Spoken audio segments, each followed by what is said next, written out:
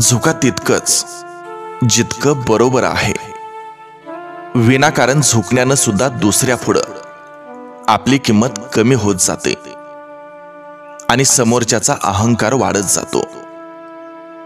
कारण कधीही गरजेपेक्षा जास्त खाल्लेलं अन्न आणि लायकीपेक्षा दिलेली इज्जत काही लोकांना पसत नसते.